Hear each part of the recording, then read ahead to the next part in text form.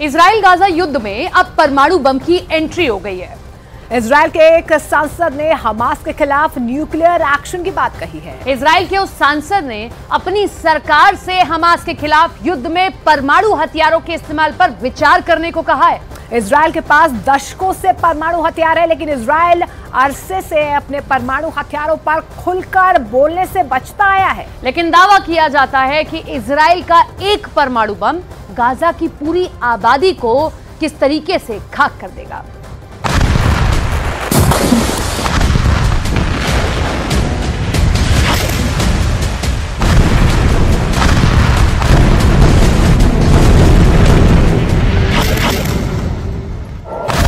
Gaza का जमीनी महायुद्ध छेड़ने वाला है।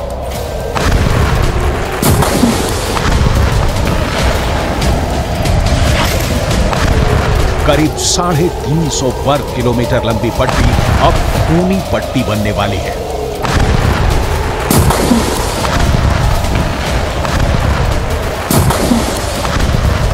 और इसीलिए इसराइल के प्रधानमंत्री बुलेट प्रूफ कवच पहनकर खुद आर्मी के कैंप में पहुँच गए। नीतनयाहू इसराइल के सैनिकों से मिले, कमांडर से मिले और उनसे कहा कि युद्ध की तैयारी पूरी कर लो। महासमर का वक्त आ गया है। अब अगले चरण में गाजा पट्टी के अंदर घुसकर हमास को चुन चुन कर मारने की बारी आ गई है।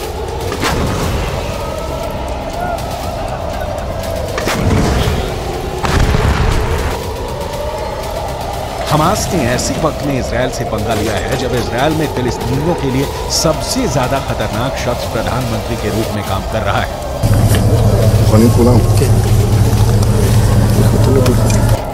और यही इस वक्त नज़र भी आ रहा है। फिलिस्तीन और अरब देशों के अखबार गाजा पट्टी की जो खबरें छाप रहे हैं, उसके मुताबिक अब तक गाजा पट्टी के अंदर करीब ढाई हज़ार से ज़्यादा लोग मर चुके हैं। गाजा पट्टी के अंदर अब तक 700 से ज़्यादा बच्चे मर चुके हैं, साढ़े चार सौ से ज़्यादा महिलाएँ मर चुकी हैं। कई अरबी भाषा के अखबार दावा कर रहे हैं कि जितने लोग भी गाजा पट्टी के अंदर मारे जा रहे हैं, उनमें से छियासठ प्रतिशत महिलाएँ और बच्चे हैं।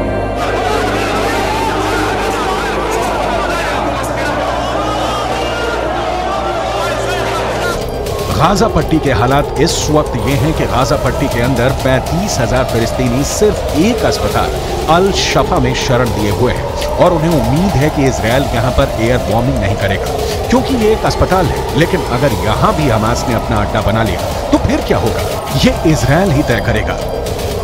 फ़िलहाल, यूक्रेन को बमबारी करके और मिसाइलों पर मिसाइलें बरसाकर लहू लुहान करने वाले पुत्र गाजा पट्टी के दर्द से तड़प रहे हैं। सात अक्टूबर को जब इसराइल पर हमास ने आतंकवादी हमला किया था करीब 48 घंटे तक पुतिन चुप्पी साधे रहे उनका कोई बयान सामने नहीं आया लेकिन हमले के दो दिन बाद पुतिन ने बेहद रणनीतिक हमला करते हुए अमेरिका पर यह निशाना साधा कि अमेरिका की मिडिल ईस्ट पॉलिसी फेल हो गई है К сожалению, мы видим резкое обострение ситуации на Ближнем Востоке. Я думаю, что многие э, согласятся со мной в том, что это э, яркий пример провала на политике Соединенных Штатов на Ближнем Востоке, э, которые пытались монополизировать урегулирование, но, э, к сожалению, не были озабочены поиском компромиссов, приемлемых для обеих сторон, а наоборот, э, выдвигая свои собственные представления о том, как это должно быть сделано, оказывали давление на обе стороны, именно на обе, то на одну, то на другую. इसराइल और हमास के इस युद्ध में एक बड़ा सीक्रेट किरदार रूस का भी है इसराइल और हमास के इस युद्ध से रूस को फ़ायदा ही हुआ है। एक तरफ़ सऊदी अरब और इसराइल के बीच समझौता खटाई में पड़ गया है तो दूसरी तरफ़ अरब के इस्लामिक देशों में अमेरिका के खिलाफ नफरत भड़क उठी है। लेबनान में हज़ारों लोग सड़कों पर उतरकर इसराइल के खिलाफ नारे लगा रहे हैं। जॉर्डन में सत्तर हज़ार लोग अमान में उस वक्त सड़कों पर उतर आए जब अमेरिका के विदेश मंत्री एंटनी ब्लिंकन जॉर्डन में ही मौजूद थे। इसी तरह तुर्की में भी जमकर विरोध प्रदर्शन हुए हैं। इजिप्ट में भी ये आग सुलगी हुई है और इसीलिए अमेरिका के विदेश मंत्री को मेहनत करनी पड़ रही है। मिडिल ईस्ट में भागा दौड़ी करनी पड़ रही है। जॉर्डन, कतर, सऊदी अरब और संयुक्त अरब अमीरात के दौरे पर अमेरिका के विदेश मंत्री एंटनी ब्लिंकन जा चुके हैं। और अब एक कदम आगे बढ़ाते हुए बेहद कूटनीतिक तरीके से पुतिन ने इसराइल पर निशाना साधते हुए कहा है कि इसराइल पर हमला हुआ है हमला ज़रूर गलत है लेकिन गाजा पट्टी पर अंधाधुंध बमबारी भी गलत है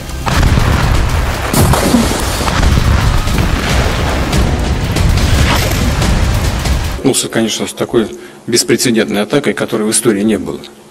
И не только по масштабам, но и по по характеру исполнения, по жестокости. Ну, что там говорить, надо вещи называть своими именами.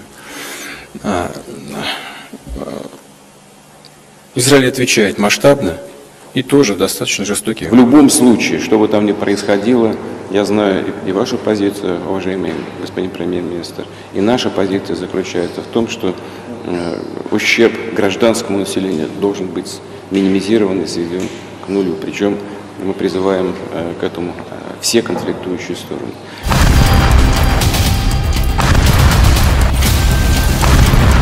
पुतिन ने गाजा पट्टी में जारी बमबारी और घेराबंदी की तुलना लेनिनग्राद की जंग से कर दी है लेनिनग्राद का युद्ध बहुत क्रूर युद्ध था जो जर्मनी के हिटलर और रूस के स्टालिन के बीच हुआ था लेनिनग्राद का युद्ध दूसरे विश्व युद्ध का सबसे अहम युद्ध था जिसमें 15 लाख लोगों की मौत का अनुमान है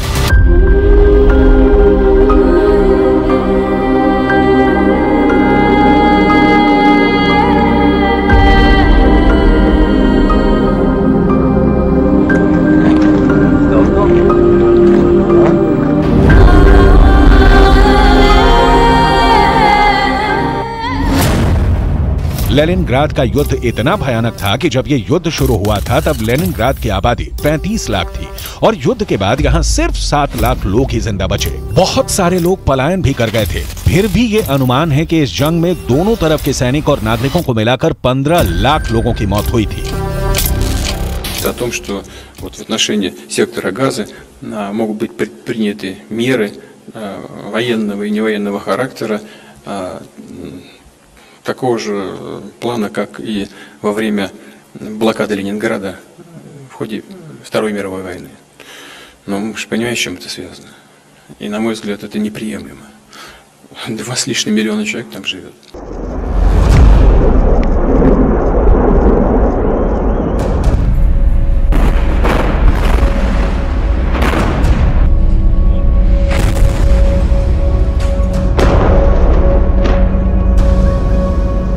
कुल मिलाकर पुतिन का इशारा यह है कि अगर गाजा पट्टी का युद्ध नहीं रुका तो इसमें लाखों मौतें हो सकती हैं। यही वजह है कि पुतिन ने इसराइल के प्रधानमंत्री बेनियामिन नेतन्याहू को चेतावनी दी है कि गाजा में नागरिकों को कम से कम नुकसान पहुँचाया जाए। इतना ही नहीं, ये बिल्कुल साफ़ नज़र आ रहा है कि इसराइल के मुद्दे पर भी चीन और रूस का एक गठबंधन नज़र आने लगा है, क्योंकि अब चीन के विदेश मंत्री वांग यी ने भी बिल्कुल साफ़ कर दिया है। कि गाजा पर इसराइल की बमबारी अब आत्मरक्षा के दायरे से बाहर निकल चुकी है। इसराइल को अब गाजा को सामूहिक सजा देना बंद करना चाहिए।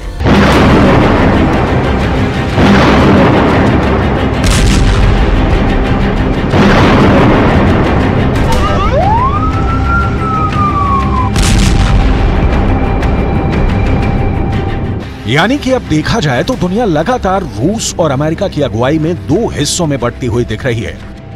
एक तरफ़ रूस के नेतृत्व में वो देश हैं जिनका कहना है कि अब इसराइल को गाजा पट्टी पर हमले बंद करने चाहिए। और दूसरी तरफ़ अमेरिका के नेतृत्व में यूरोप के कई देश हैं जो ये मानते हैं कि हमास एक खूंखार आतंकवादी संगठन है। और अब उसको उसकी करतूतों की सजा देना इसराइल का कर्तव्य और अधिकार है।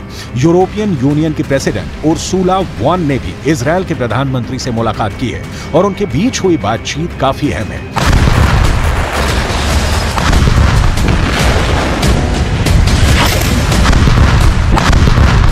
I was today in Kfar Aza, and um, this is breaking my heart what I saw and what I heard. The blood of people killed in their sleep, the stories of innocents burned alive or slaughtered in their homes, the parents hiding their newborn babies before confronting the terrorists, children and elderly people ripped from their families, taken hostages, even Holocaust survivors. Over 1,300 human beings were murdered by barbaric terrorists of Hamas against Israel.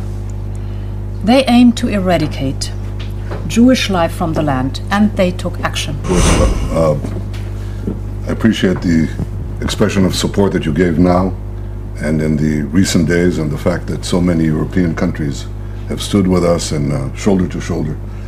Uh, these are not merely acts of war, these are war crimes. What Hamas has done is to perpetrate the worst war crime since the Holocaust. Jordan के बाद शाह अब्दुल्ला द्वितीय भी इस पूरे युद्ध को लेकर काफ़ी ज़्यादा परेशान नज़र आ रहे हैं उनके सामने चुनौती यह है कि अगर कहीं वेस्ट बैंक वाले फिलिस्तीन के अंदर भी युद्ध का शोर उठा तो इसका बड़ा असर जॉर्डन पर पड़ने वाला है ये मैप जरा ध्यान से देखिए। फिलिस्तीनियों का कब्जा फ़िलहाल दो जगहों पर है। पहला वेस्ट बैंक, जो यरूशलेम के आसपास का इलाका है, और दूसरा गाजा पट्टी। जॉर्डन के बाद शाह को यह डर है कि अगर गाजा में हमास ने युद्ध शुरू किया तो फिर वेस्ट बैंक के अंदर से भी हमास के लोग इसराइल के खिलाफ युद्ध छेड़ सकते हैं। सात अक्टूबर के बाद से ही इस पूरे इलाके के अंदर तनाव है, और वेस्ट बैंक में भी इसराइली सेना की कार्रवाई में लोग मरे हैं। इस वक्त वेस्ट बैंक के अंदर हालात ये है कि यहाँ महँगाई बहुत ज़्यादा बढ़ गई है, क्योंकि लोग भारी मात्रा में खाने पीने का सामान लंबे समय तक के लिए इकट्ठा कर रहे हैं। जॉर्डन को अपनी जनसंख्या के अंदर असंतुलन का खतरा सता रहा है। दरअसल, जॉर्डन की कुल आबादी करीब एक करोड़ है और इनमें से 10 लाख लोग फिलिस्तीनी शरणार्थी हैं। यानी जॉर्डन की 10 फ़ीसदी आबादी फिलिस्तीनी है।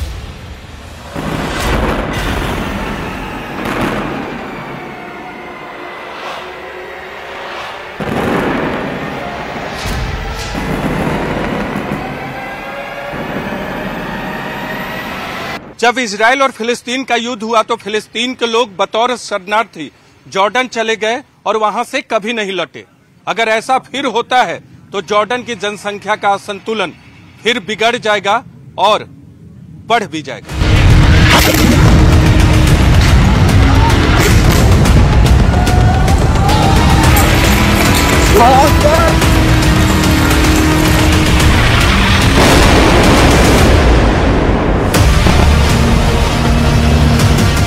और यही वजह है कि जॉर्डन भी सऊदी अरब और यूएई के साथ मिलकर किसी तरह शांति की स्थापना की कोशिश में जुटा हुआ है।